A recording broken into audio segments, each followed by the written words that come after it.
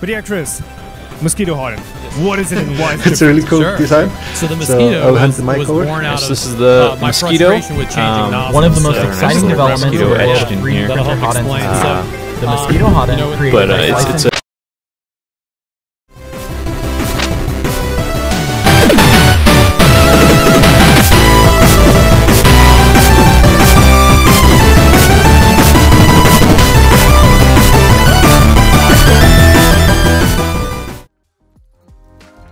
So you've probably heard of what happened regarding Slice Engineering recently.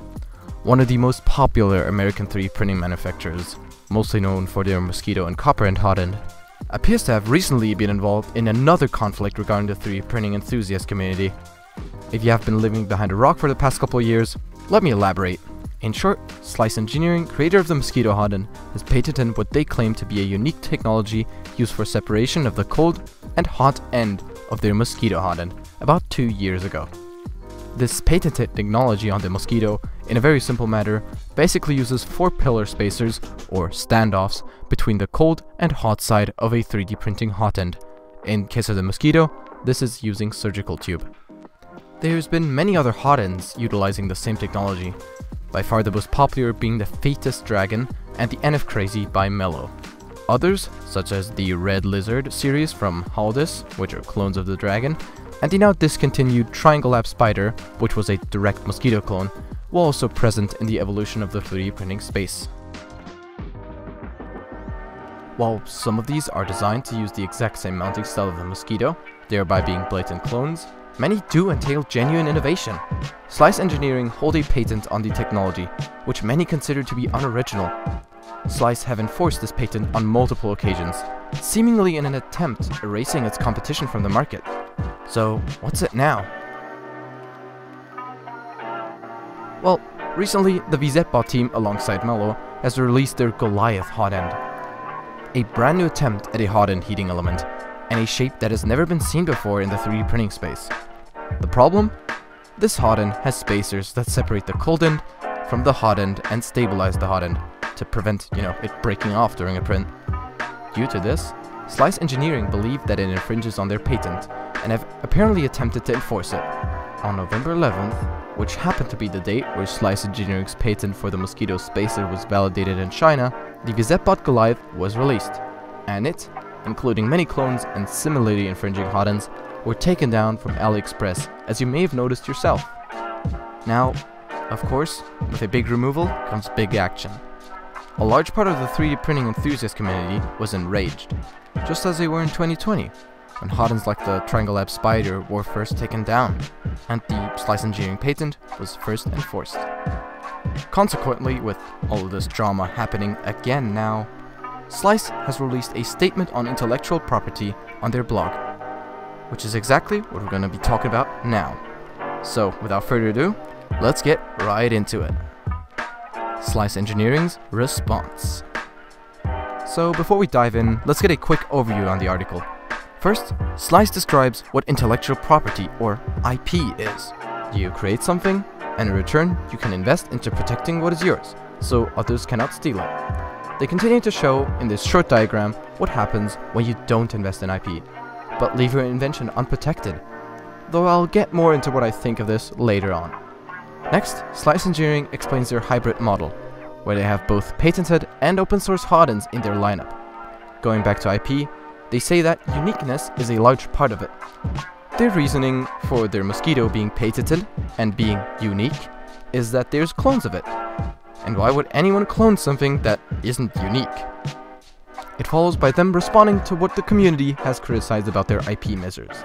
First, the point that there's less room for innovation in the first place when you patent something. They deny this though, showing injection molding as an example. Many patents exist in the injection molding space, yet the technology still evolves pretty much daily. This happens because us humans have no limit on creativity.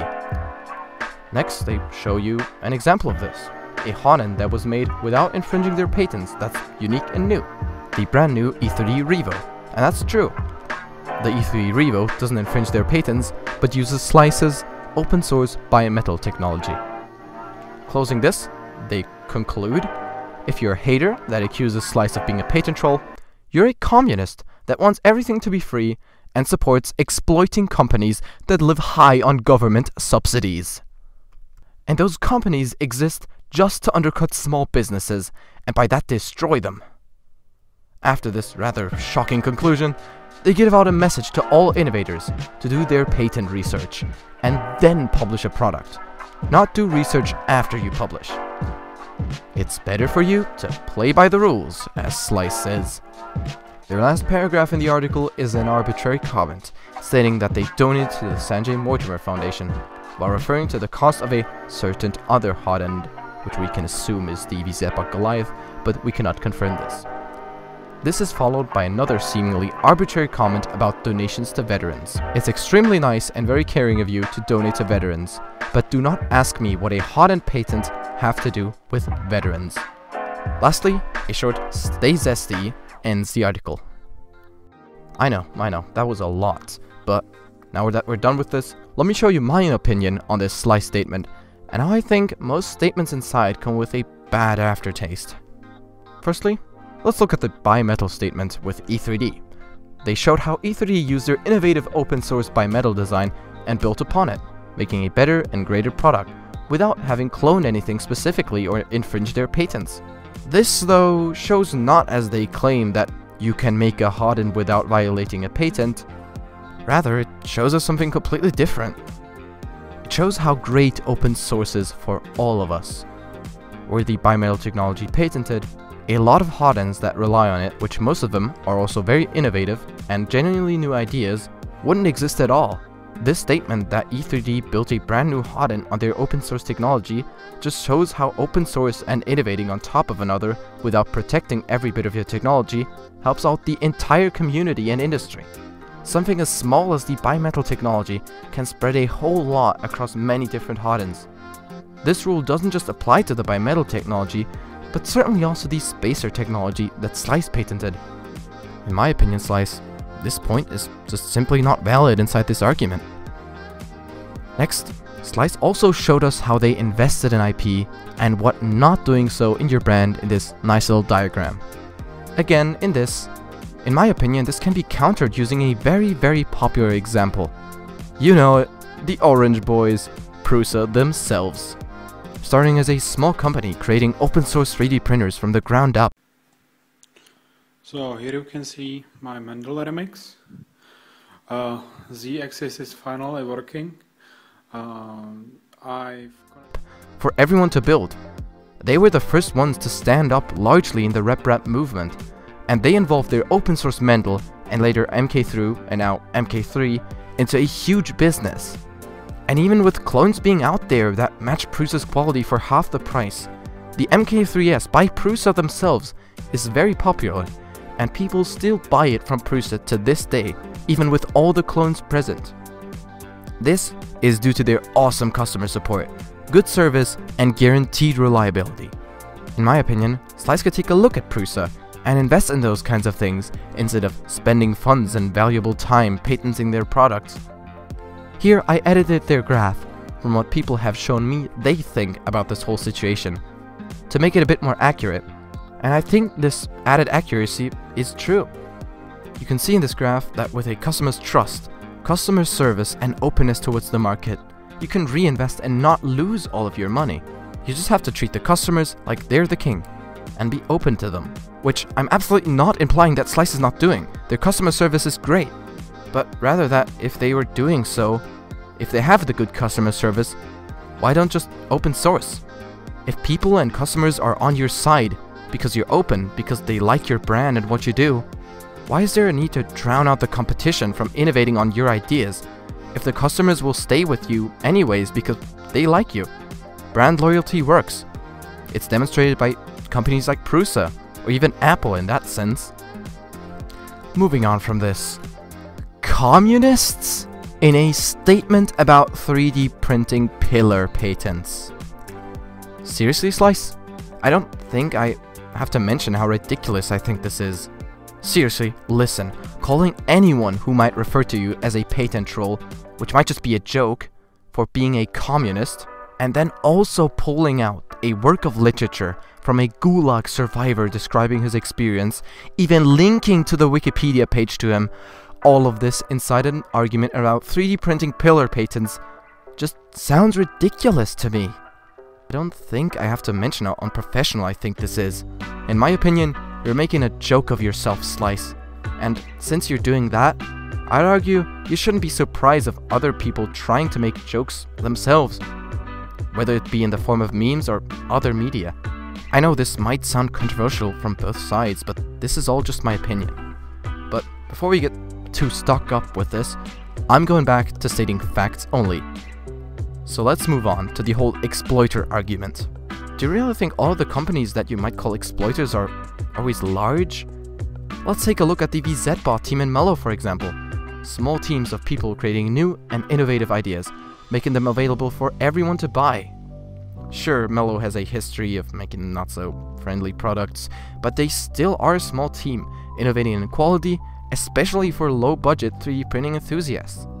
Coming back to your other argument, isn't what Mellow is doing undercutting someone and providing better or equal quality just how capitalism works in itself? I don't know why you're talking about communism all of a sudden. In my opinion, this also sounds rather egoistic. These companies want to innovate and they aren't just specifically designed to undercut small businesses targeting just you, Slice. They're here to make 3D printing not just more affordable and available to low cost markets, but they're also there to make their own new, never before seen inventions in the 3D printing community.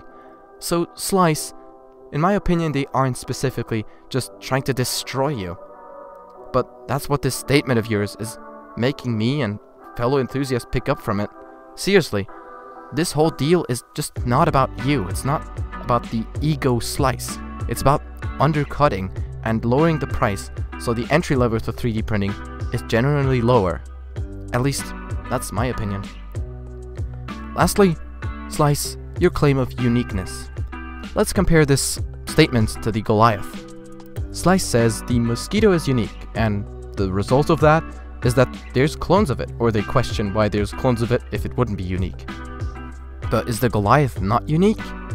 Nobody to my knowledge has ever attempted this kind of combination of hot and cold end before. Neither has anyone in the 3D printing space integrated a heating element into a heat block like this. I've heard people say Slice calls the Goliath a clone as well. Well, this makes sense, it does infringe Slice's patents after all. If this hot end is not unique though, which it has to be since it infringes your patents, how is the Mosquito unique in that scale? It's also, just like the Goliath, a hot and cold end with a heat break, and screws securing the two, like with the MK8 hot end, which existed before, and well, some spacers. I don't think Slice's uniqueness claims count if they phrase it like that.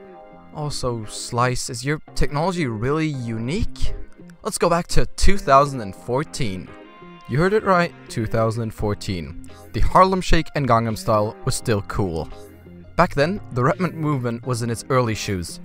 People were building all sorts of hot ends to experiment with, and this picture was publicized on the RepRap forums around 2014. Looking at specimen A, B, and K, do you see some similarities here?